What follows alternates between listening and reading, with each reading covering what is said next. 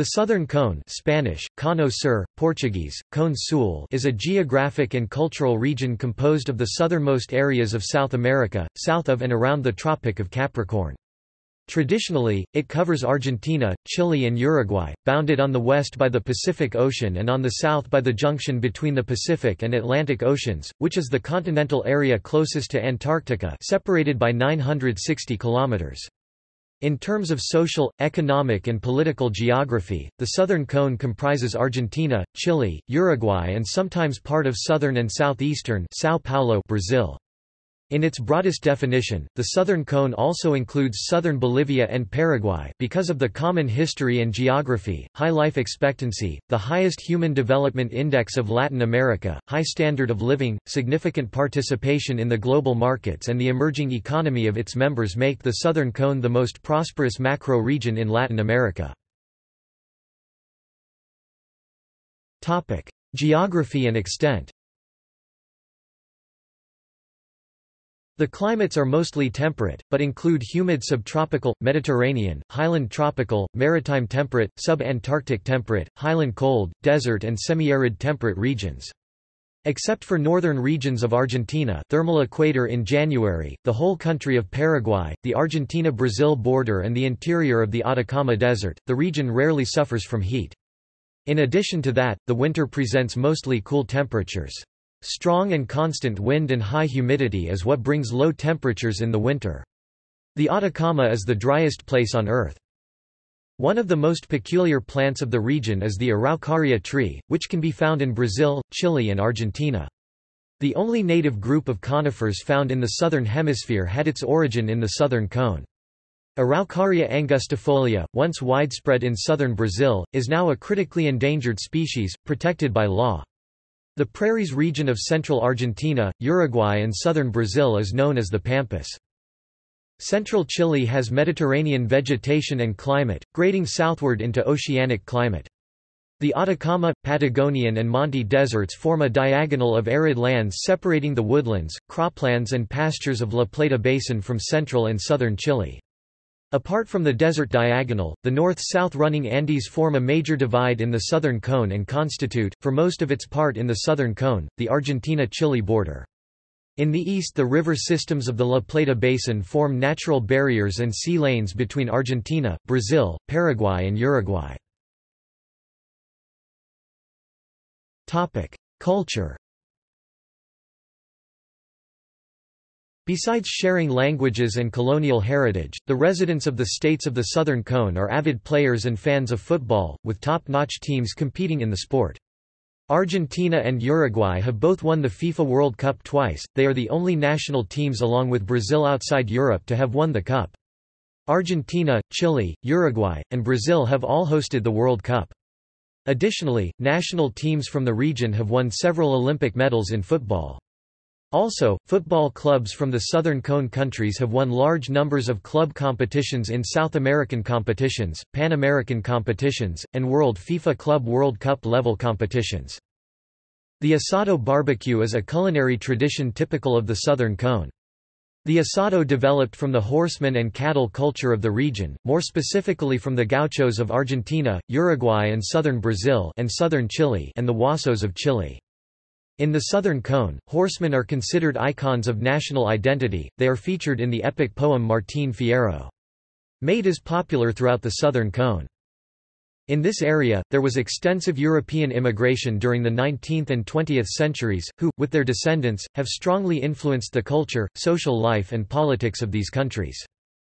In a social survey, residents rated their countries as good places for gay or lesbian people to live. The following percentages said yes in Uruguay 69%, Argentina 58%, and Chile 52%.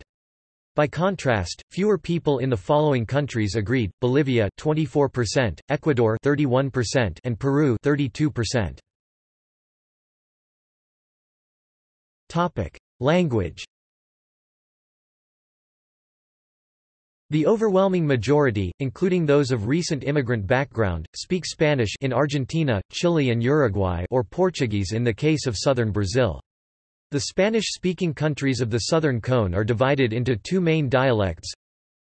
Castellano Rioplatense River Plate Spanish, spoken in Argentina and Uruguay, where the accent and daily language is heavily influenced by 19th–20th century Italian immigrants, has a particular intonation famously recognized by Spanish speakers from around the world. It is sometimes erroneously referred to as Castellano Argentino, Argentinian Spanish, due to the majority of the speakers by population being Argentinians. Preliminary research has shown that Rioplatense Spanish, has intonation patterns that resemble those of Italian dialects in the Naples region, and differ markedly from the patterns of other forms of Spanish. Buenos Aires, Rosario, and Montevideo had a massive influx of Italian immigrant settlers from the mid-19th until mid-20th centuries. Researchers note that the development of this dialect is a relatively recent phenomenon, developing at the beginning of the 20th century with the main wave of Italian immigration. Castellano Chileno Chilean Spanish these dialects share common traits, such as a number of Lunfardo and Quechua words. Other minor languages and dialects include Portuñol, a hybrid between Rioplatense and Brazilian Portuguese that is spoken in Uruguay on the border with Brazil. Native American languages Some Native American groups, especially in rural areas, continue to speak autochthonous languages, including Mapudungun also known as Mapuche, Quechua, Aymara, and Guarani. The first is primarily spoken in Araucania and adjacent areas of Patagonia, in southern Argentina and Chile. Guarani is an official language of Paraguay, the most widely spoken language in that country, and in 2010, the city of Tacuru, in the Brazilian state of Mato Grosso do Sul, adopted Guarani as the official language, besides Portuguese. It is also a co-official language in the northeastern Argentine provinces of Corrientes and Misiones. Non-Iberian immigrant languages English is spoken in the Falkland Islands, a British overseas territory. Welsh is spoken by descendants of immigrants in the Patagonia region of Argentina. Italian mostly its northern dialects, such as Venetian, is spoken in rural communities across Argentina and São Paulo where immigrants had settled. German in some dialects is mostly spoken in southern Chile and southern Brazil. German dialects are the second most spoken mother tongue in Brazil, Polish, Dutch and Ukrainian are also spoken in southern Brazil. Ukrainian is used in Argentina as well. Croatian and other Slavic languages are also spoken in the southernmost areas of Chilean Patagonia, reflecting patterns of immigration and settlement. Yiddish can be heard mainly in Buenos Aires, Argentina and São Paulo, Brazil. In Brazil, Japanese is mostly common in the states of São Paulo and Paraná. Religion The majority of residents are Roman Catholic, but there are Jewish and Protestants as well mostly in Argentina and Chile. Religions include Islam, Anglicanism, Lutheranism, Eastern Orthodoxy, Buddhism, The Church of Jesus Christ of Latter-day Saints and Taoism. Jewish communities have thrived in cities of Argentina and Uruguay. While the Southern Cone has been conservative in some aspects of religion, it has had a tradition of social reform and liberation theology has been followed by many in the Catholic Church. Uruguay, where agnosticism and atheism is common, has a policy of strong separation of church and state. It is one of the most secular countries in the Americas. Uruguay, Argentina and Chile, in that order, have the least religious residents in South America, according to their responses about the significance of religion in their lives. According to a Gallup poll, 51% of Uruguayans, 56% of Argentines, and 60% of Chileans think of religion as something important in their lives, contrasting with the higher values given by the residents of countries such as Brazil 87%, Bolivia 89%, and Paraguay 92%. Topic: Countries and territories. Topic: Inclusion of other countries. Topic: Brazil. Brazil being a country of continental dimensions, it presents great internal regional differences. While its four southernmost states Santa Catarina, Rio Grande do Sul, Paraná and São Paulo share the same characteristics with Argentina, Chile and Uruguay, high standard of living, subtropical and temperate climate, high levels of industrialization and strong European ethnic component due to immigration, the other states are more similar to the other South American countries in these issues. For this reason, Brazil is included in some meanings when speaking in Southern Cone, but excluded in others. When the definition is not limited to entire countries, the states of the South region and the state of São Paulo are generally included. Paraguay Due to the geographical proximity, common history, geography and political cycles, Paraguay is usually included in what is meant by Southern Cone. However, it contrasts strongly with other countries given the high level of poverty, low standard of living and low level of industrialization, and is therefore sometimes excluded from the definition. Demography The population of Argentina, Chile and Uruguay is 40, 16.8 and 3.6 million respectively. Buenos Aires is the largest metropolitan area at 13.1 million and Santiago, Chile has 6.4 million. Uruguay's capital and largest city, Montevideo, has 1.8 million, and it receives many visitors on ferry boats across the Rio de la Plata from Buenos Aires, 50 kilometers (31 miles) away.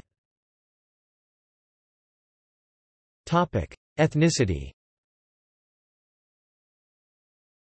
The population of the Southern Cone has been strongly influenced by waves of immigration from Europe in the late 19th and early 20th centuries.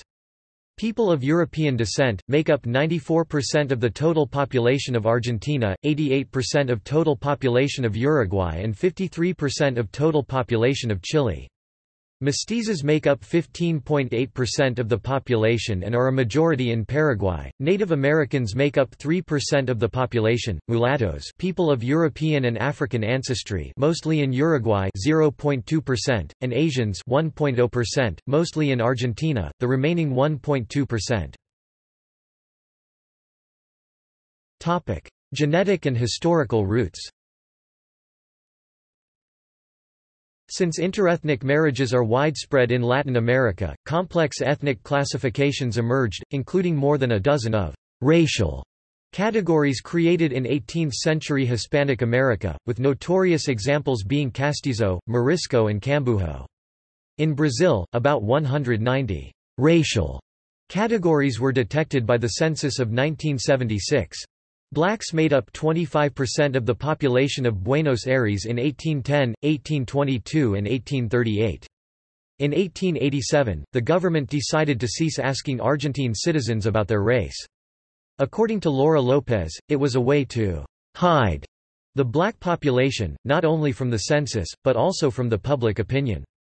Chile does not ask its citizens about race, but a study from the University of Chile concluded that whites make 60% of the Chilean population, while the CIA World Factbook described 88.4% of the population as white and mestizo. A study conducted on 218 individuals in 2010 by the Argentine geneticist Daniel Corach has established that the genetic map of Argentina is composed by 79% from different European ethnicities, mainly Spanish and Italian ethnicities, 18% percent of different indigenous ethnicities, and 4.3% of African ethnic groups, in which 63.6% of the tested group had at least one ancestor who was indigenous.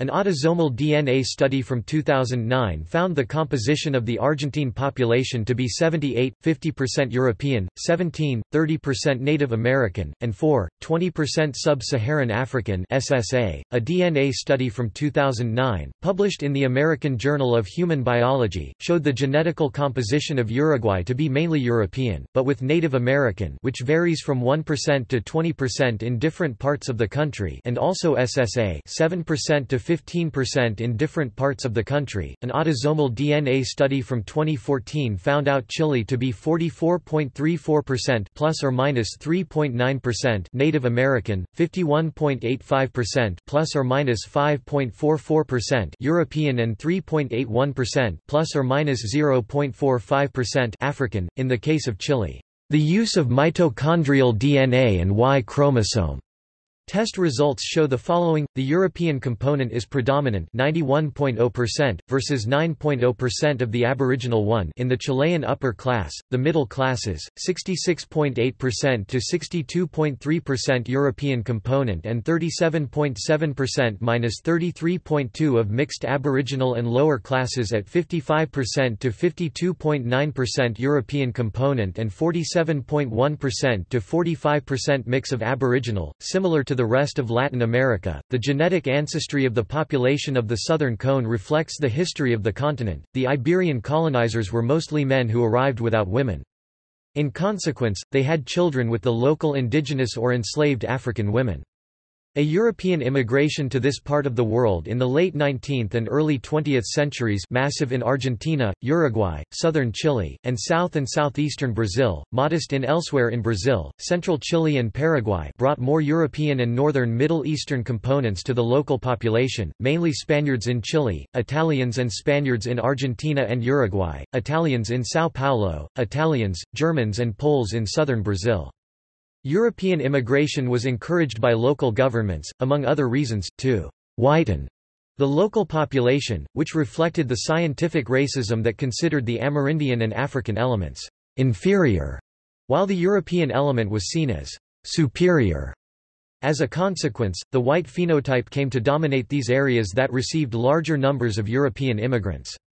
But the predominantly non-white majority before the mass European immigration did not disappear, of course, but was largely assimilated into the white population. Education and standards of living The other conspicuous characteristic of the Southern Cone is its relatively high standard of living and quality of life. Argentina's, Chile's, and Uruguay's HDIs, 0.827, 0.847, and 0.795 are the highest in Latin America, similar to those of the richest countries in Eastern Europe, such as Slovenia, Poland or Hungary. Uruguay, where illiteracy technically does not exist, reaches the same level in this area, even considering that it faces restrictions to its industrial and economic growth. The Southern Cone is the most prosperous macro-region in Latin America. It has high life expectancy, access to health care and education. From an economic and liberal point of view the region has been praised for its significant participation in the global markets, and its emerging economy profile. More troubling are high levels of income inequality. Southern cone equals Argentina Chile Uruguay Mexico equals Mexico Brazil equals Brazil South America equals Colombia Venezuela Paraguay Ecuador Peru Bolivia. Central America equals Costa Rica Panama Nicaragua Honduras El Salvador Guatemala. Topic. Politics. During the second half of 20th century, these countries were in some periods ruled by right-wing juntas, military nationalistic dictatorship. Around the 1970s, these regimes collaborated in Plan Condor against leftist opposition, including urban guerrillas. However, by the early 1980s Argentina and Uruguay restored their democracies, Chile followed suit in 1990. Governments Timeline of presidents References. External links. Media related to Southern Cone at Wikimedia Commons